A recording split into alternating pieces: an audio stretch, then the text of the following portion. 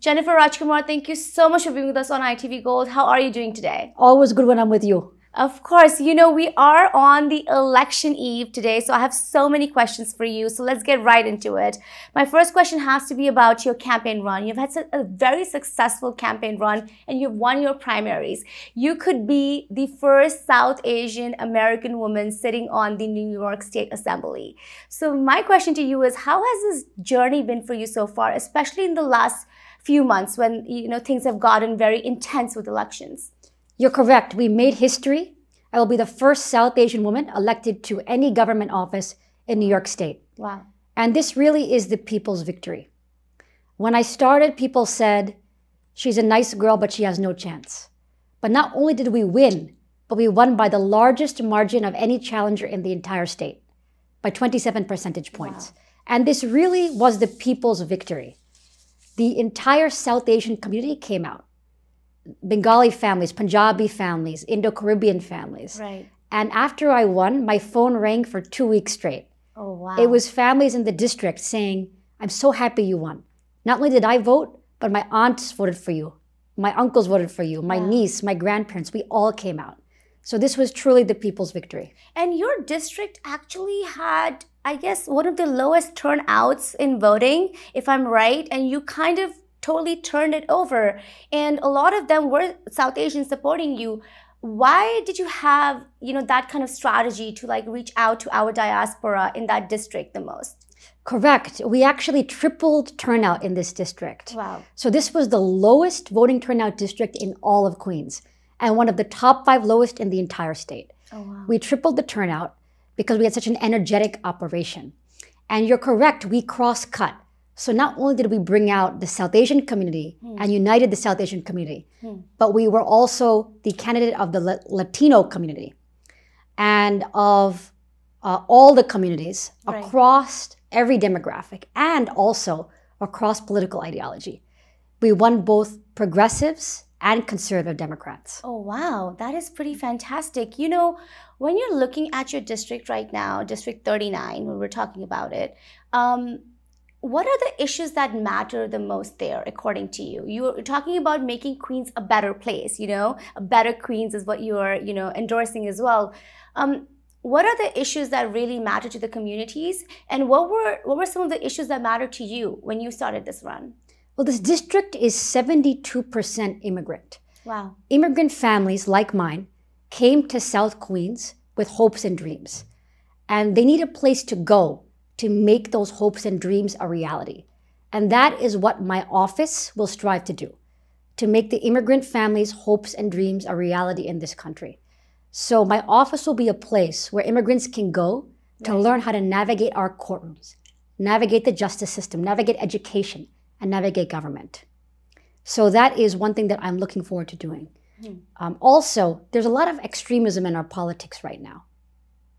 And most people are not either extreme. Right. So my office will also be a place where everybody can go. Okay, let's talk a little bit about COVID 19 because we can never shy away from that. We are in a healthcare crisis as we speak. What has been the impact of COVID 19 on the district that you will be representing? And, you know, when we're looking at New York, we were the epicenter, and Queens was one of the places that really had a surge of cases. So, what, how has that impacted uh, your district economically and in healthcare? Back in March and April, my district was one of the hardest hit by the coronavirus pandemic. Wow. A top priority of mine is going to be economic rebuilding. Hmm. Almost 1 million Americans are now unemployed. New York State has a budget deficit exceeding 14 billion. So now more than ever is the time for real leadership in government. Hmm. We can no longer afford to have mediocre representatives. So I'm going to prioritize excellence right. and also rebuilding our district, making sure that small businesses can rebuild and thrive. Right. What about the most vulnerable communities that really need an upliftment right now? What do you think is needed to help those communities? You know, we've seen food insecurity as an issue. We've seen people not being able to pay their rent. Unemployment is high. So, how do you uplift that? After winning my primary election, mm. we attacked food insecurity head on mm. by creating food distributions outside of underserved areas. Because my district in South Queen has, has been overlooked and underfunded for a very long time. Hmm. And so we organized food distributions outside of mosques and areas that have been underserved. On the level of policy, hmm. we need to make reforms that will make life a little easier for workers. For example, uh, we need to do things like close closing the tipped wage loophole. Hmm. Um, oftentimes, tipped wage workers are held to a different minimum wage standard than other workers. Hmm. That's an inequality that makes life harder for workers. Also, helping our small businesses. There is uh, an innovative bill in Albany called the Small Business Insurance Interruption Act. Okay. And what it does is it compels insurance companies to pay out if a small business has gone under due to coronavirus or, or if they've been interrupted due to mm. coronavirus. And so it, Century 21 would not be bankrupt today. It would still be in existence if insurance companies had paid out. Right. So making reforms that will allow businesses to thrive will be a top priority. You know, um, if and when you win, you will be joining in the state assembly during perhaps the second surge of COVID 19 that we will see across the nation. We're seeing it in parts of the country already. Um, you know, what is your focus going to be in the beginning? And, you know, how worried are you about the second surge as somebody who's about to be a state assembly person? Very worried, hmm. very worried and very vigilant. So I'm going to be working 25 hours a day just like the people in my district. The people in my district also work 25 hours a day. Wow. So I'm going to make it a priority to make sure that their work uh, bears fruit. Right. And one of those things, again, on the economic rebuilding, hmm. is to make sure that people have jobs.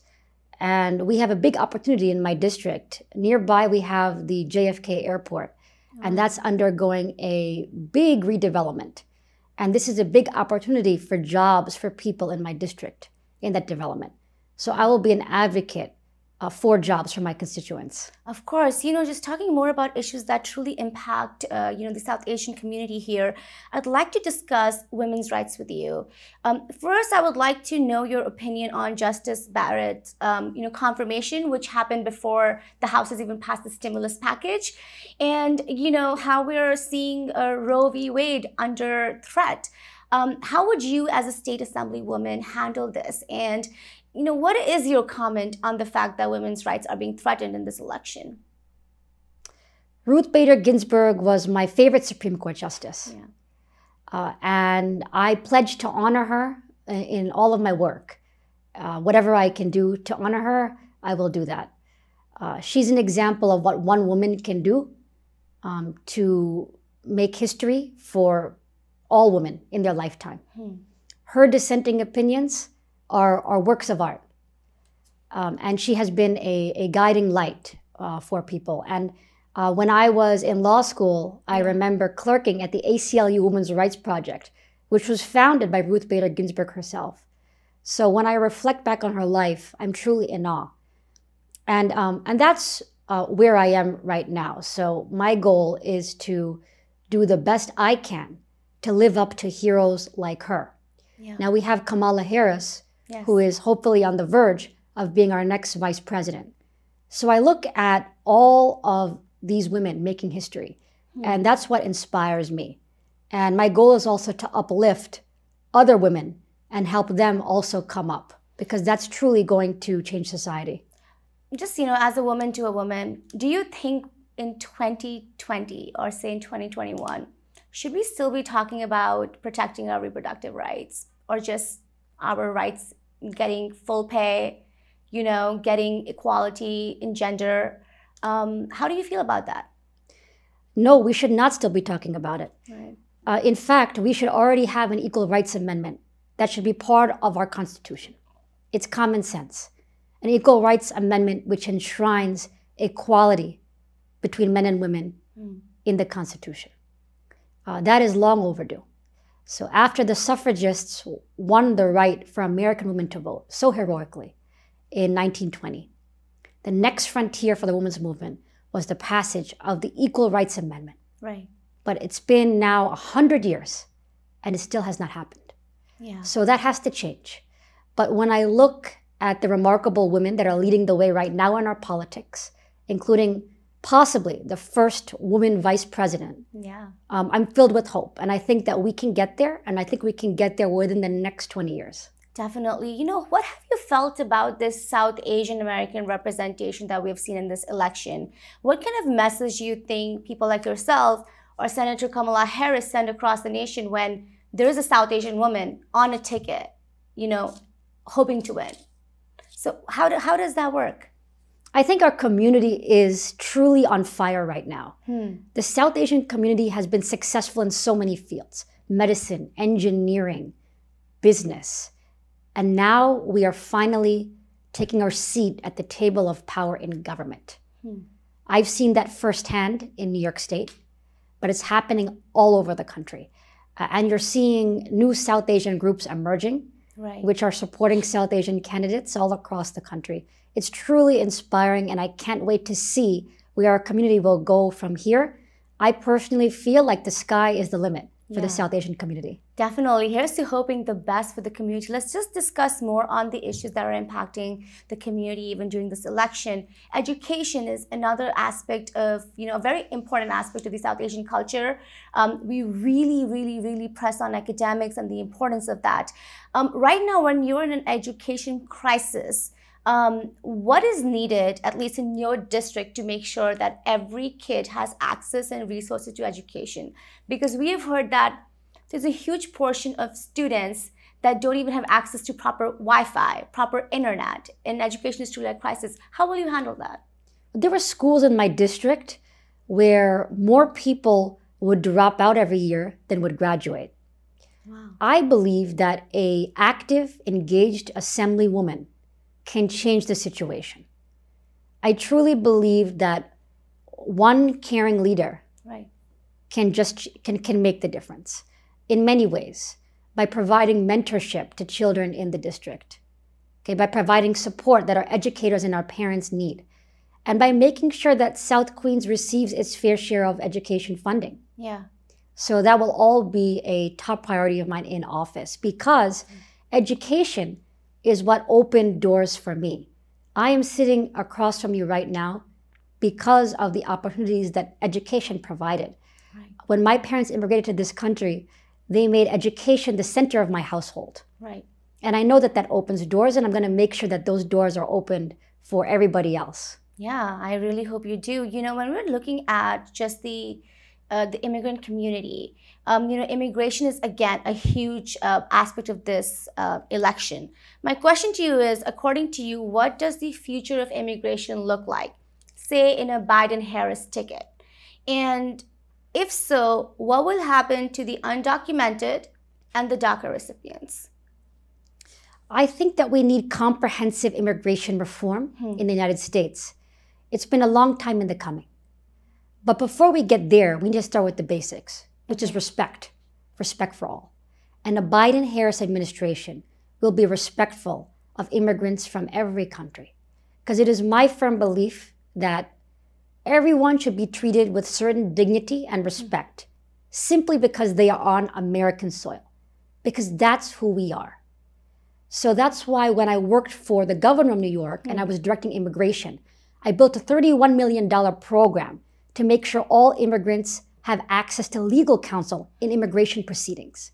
Because I believe that everyone deserves the right to be heard. Everyone deserves at least a fair shot. Hmm. That's what we're about. So after we return to our ideals Hmm. of treating all immigrants with respect and decency, we can then also work on comprehensive immigration reform, Hmm. okay, which is making sure that we take care of children that were bought here at a young age Right. because they are truly American. Even if their parents came crossed a border illegally, the children are American, okay, and they deserve uh, all of the rights and privileges of citizenship. Many of them are straight A students, and they succeed, and they're really contributing to our economy. Um, I do believe in border security, Yeah. but I also believe that we should treat everyone with decency and respect. Yeah, that's so true. What have you felt about immigration policies for the last four years under Trump administration? I think uh, they have not been smart, to say the least. It's been um, not who we are. The Muslim ban executive order yeah. that he issued was uh, a travesty because religion should never be a criteria for entering the United States. The First Amendment to the United States Constitution is freedom of religion. Yeah. So we need to return to our American ideals. Um, also, he's instilled fear in immigrant communities. Uh, one week, he announced that at the end of the week, one million immigrants would be deported. This caused a chilling effect in communities. There was no reason to do this. It was not smart. We need to return to decency and smart policies. What do you think about the xenophobic rhetoric that we have seen in the last four years? Um, how important is that to you to sort of uh, combat? I uh, have no words for the xenophobic rhetoric. Hmm. I'm looking forward. Uh, we are on the verge of a big election. Tomorrow is a big election. Yeah. We have the chance to elect someone that our children can be proud of. Um, and I'm, I'm forward looking right now. Hmm. Um, I think it has been a very negative political space, hmm. full of extremism, uh, full of undignified language, hmm. lacking in decency. And I know we can do better than this.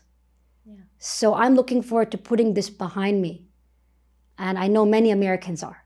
And you so know, that's why I urge all, all Americans to get out and vote tomorrow. Yes. It's very important. Get out and vote and tell the story. Have a story that you can tell to your children and to future generations of what you did on November 3rd, 2020. Yes, everyone, make sure you are voting. We have just one day left for this election. Go on iwillvote.com for more information. Just discussing more on this, Jenifer. Um, you know, I would love to discuss what you have felt about these two campaign trails that we have seen. Very, very different from each other. Um, you know, one is hosting rallies with thousands, thousands of Americans. The other one are hosting rallies in a drive-in way, more secure, more safe, socially distanced what message is being sent across the nation according to you with the, the whole run that we have seen? The Biden Harris administration is showing that public health matters and smart public health policy. That's why you see these car rallies done by Kamala and, and Joe Biden. Yeah. Uh, and they're nothing that we've ever seen before. But that's what public health demands. And a serious leader will rise to the occasion and lead the American public. Tell them that masks are necessary. Yeah. Show them by example that we have to socially distance. Yeah. And, and that's exactly what the Biden Harris campaign is doing. And just on, you know, the measures we all have to take to take care of ourselves, do you believe that we should have a mask mandate? I, I do. I think that public health comes first. Um, and that we need to protect the health and welfare of all American citizens. Yes. Um, and we need to make sure that everybody's dinner table remains full with all family members. Because right now, you know, so many people have lost a loved one, and there's that empty seat at the dinner table. So if a mask mandate will help us get there, then absolutely yes. You know, the, the safe, uh, the safety and welfare of our citizens comes first. Definitely. You know, I want to continue talking to you more about things that are impacting this election. I have to talk to you about the racial unrest that we have seen in the last so many months, especially since the death of George Floyd in Minnesota. Um, how have you looked at this entire racial unrest movement? And also, how do you look at an organization like Black Lives Matter, who continue to protest, who continue to assemble, who continue to demonstrate? Um, as an assemblywoman, how would you take care of this racial unrest issue? Because we see it in New York, definitely all the time. There are protests happening, and there is a backlash too. So how would you take care of that? I think peaceable marches, hmm. peaceable protests have been a tradition in America. Yeah. If you think back to our civil rights movement, you can almost see the images in your head of Martin Luther King marching. That's part of our tradition, and I'm proud of anybody who wants to march hmm. uh, for equality. I think that that's a wonderful thing. I think that we have a long way to go towards racial equality. Mm. at the current rate, within the next few decades, one third of the African American population will be imprisoned. Oh, wow. This is a crisis. Now, I have heard firsthand from many constituents in my district that call me concerned. Um, and they are very con- deeply concerned with police brutality issues. Right. And I'm very touched by their passion. Uh, and I, I have invited these constituents to become a part of our campaign and help us formulate policies to build trust between law enforcement and minority communities. That trust has to be built. That is so true. You know, when you're looking at the issue of systemic racism and the fact that it impacts everyone, you know, not just the African American community, but it also impacts us as South Asians, how do we educate people, according to you? I think we need to look back at history. Hmm. Uh, it's really amazing to look back at racial justice and the South Asian community. In 1923, the United States Supreme Court actually ruled that Indians and Sikhs could not be United States citizens. Um, we've come a long way. Uh, but also in the late 1800s, Right. the United States Congress passed a law barring Chinese individuals from immigrating to this country. It was called the Chinese Exclusion Act. So when you look back at this history, it really gives you a sense of where we've been, where we are, and where we need to go. Right. That is so true. I and I really hope that we come across, you know, we actually win over this racial unrest issue. That there are leaders such as you who want to have, you know, some kind of uh, solution on this problem of police brutality and minority communities. Just discussing more on the election again, Jenifer. Another issue that truly impacts uh, communities are the LGBTQ rights as well. Um, we have seen that under the Trump administration, they have been threatened. Their rights have been threatened. From the White House, um, the kind of information that we get is not favoring the community. What do you think about the plight of the LGBTQ community, and what would you do for them? I was very proud when marriage equality became the law of the land. Hmm. I saw it happen here in New York, and then the US Supreme Court a few years later Right. made it the law for the entire country. Um, and earlier, we saw the repeal of Don't Ask, Don't Tell, Yeah. um, allowing for equality um, in the military for LGBTQ individuals. Uh, so I believe that uh, LGBTQ individuals should be treated with respect. And uh, also, the trans community right now has been uh, suffering a lot. There have been reports of people being murdered Oh wow. just because they are trans, and that murder rate is up. And that is unacceptable. And that has to change. Uh, and I'm going to make sure that I champion the rights of transgender individuals as a New York State lawmaker. Definitely. And I think a lot of education needs to happen on that end. I think people are still so ignorant about so many things. Um, how do you look at climate change, Jenifer? That's a huge issue that I feel like has not been discussed enough in these elections because the, the race has become kind of nasty in certain states. Um, clean energy and climate change is a real thing, as we know. And I know the Biden Harris administration has a plan too. I would like to know your plan. I believe that we need to get to a green economy. I'm very excited Hmm. by the idea of a green economy with green jobs in solar energy and wind and clean energy, a Right. whole new clean energy economy. And it's imperative that we start creating one for future generations. Oh, we need to make sure that we divest of fossil fuels. Right. That is very important. Um, and really take the steps to make a clean energy transition. But before we even do that, we need to first uh, make uh, our plans based on science. We need to Right. we need to admit that climate change is, is actually happening because there are many people that still deny that climate change is actually occurring. Yeah. So I think that we need our leaders to explain clearly in a way that people can understand based on scientific fact that this is in fact a real phenomenon. And then we need to take the steps to get to a clean energy economy. That is so true. Do you believe, according to you, that the Biden Harris administration will bring in these progressive changes, especially when you're looking at clean energy? Absolutely. Hmm. It's very exciting to think about the administration that will come with the Biden Harris election. Uh, they're going to bring in so many bright lights and so much brain power, so much expertise. They're going to bring in the future of the Democratic Party into their administration. And that is one major reason to make sure that they get elected tomorrow. You know, Jenifer, I know South Asians play a really pivotal role in your district, but you know, we have about, I think, more than 2.5 million South Asians eligible to vote this year. And, you know, they play certain pivotal roles in certain swing states as well. How are you looking at the South Asian vote this year when you're looking at the presidential election? I think the South Asian community uh, is very big, even in some key swing states. Mm. Michigan, for example, has a robust South Asian population. Right. And if South Asians exercise their right to vote in, in key swing states, that could make a real big difference in this election. That is so true. How are you looking at the election day? What do you think will happen tomorrow? Well, there have been incredible lines at the polls the past week, even here in New York. I have never seen anything like it. I have never seen lines this big. Wow. And we have never had this many early votes before the actual election day. Um, so the big turnout, I believe, is very good for the Democratic Party. Hmm. Um, I think that that bodes well for the election of Joe Biden. We may not even know tomorrow night who yeah. the winner is.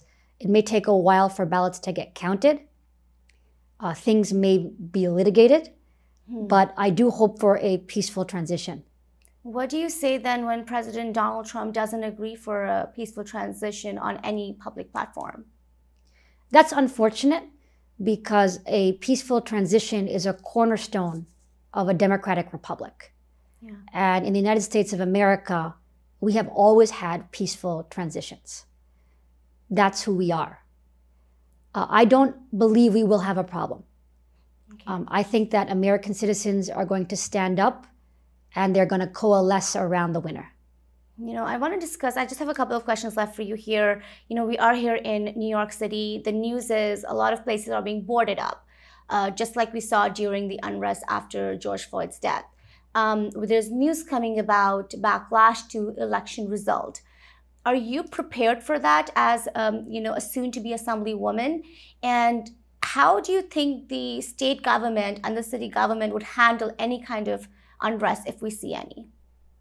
I'm prepared for that. Okay. Because I have faith in the American people. I know that people will act dec- decently, and I know that people will coalesce around the winner. I have faith in the American people. You know, uh, when we're talking about this too, another thing that I would like to know if you have faith in uh, would be the entire system of election protection um, President Donald Trump has gone and um, accused perhaps mail-in ballots as, as something that's not as viable. Um, he's questioned Dropbox ballots as well. He's questioned early voting as well. Um, can you guarantee that all the votes that get counted in New York City, or at least in your district, will be all fair? And how are you maintaining this election protection process uh, during the cycle? I will fight hard to make sure that every vote is counted. I have already been fighting to do that in the primary election, hmm. where we had an incredible number of absentee ballots that were mailed in. Also, I'm in touch with election lawyers. Hmm. Uh, they are on standby to help everybody and make sure that their votes are counted. Um, I also am a liaison between my constituents and the Board of Elections oh, wow. to make sure that uh, the Board of Elections answers constituent concerns. So I'm doing everything I can to make sure that everyone expresses themselves. But you trust the system for elections this year? I do, and I also trust our judicial system. Hmm. Um, I trust our lawyers, and I trust the people. The people that have been standing in line for hours to make sure that they get to cast their ballot. Yeah. Uh, so the people give me faith. You know, people in my district are also tracking their ballots. There's a new ballot tracking right. system in New York. So voters are being very vigilant. Hmm. And it is truly inspiring to see that kind of coming together and that kind of vigor in our democracy. And I also trust our brilliant election lawyers, hmm. and I trust the law. And I know that we're going to have a peaceful transition and that the votes will be counted. You know, finally, Jenifer, I have to ask you what is going to be your first 100 days plan uh, once you get elected? What are you going to be focused on in where we are still in the pandemic, there's still uh, you know social unrest, the the same issues that we've been talking about continuously goes on. What's in on your agenda for the first 100 days? So my district has been underserved and overlooked for a very long time. Hmm. I'm going to make sure that we have robust social services available in the first 100 days. My office will be a place where people can come to for help, especially at a time like this right. a pandemic where unemployment is sky high and people are struggling. Uh, number two, economic development and the economic rebuilding of my district will be a top priority of my first 100 days. And then number three, uplifting our youth. Oh, yes. To make sure the youth all around our district have every opportunity in the world. Yeah, that is so, so important. What's your message to the South Asian community right now? My message to the South Asian community is the sky is the limit for you. Hmm. We showed that in our election. It was the people's victory. South Asians came out and voted for me and gave us the largest win percentage wise of any challenger in the state. And now we will elect the first South Asian woman to the vice presidency tomorrow. So this is the time for our community to shine. So dream and dream big. And finally, what states are you watching right now, Jenifer? I'm watch, watching Michigan, Pennsylvania, hmm. Wisconsin, and Florida. Wow. Yeah, battlegrounds here. I just hope that it's the best result that's best for the nation. Thank you so much for your time on ITV Gold. And I would love for you to tell everyone to go out and vote if they haven't so far. Please, everybody, go out and vote. This is the election of a lifetime. November 3rd, 2020, go to the poll, take a selfie, enjoy it, bring back a story, and make history. Thank you. Thank you so much, Jenifer, for your time here. Thank you. Thank you.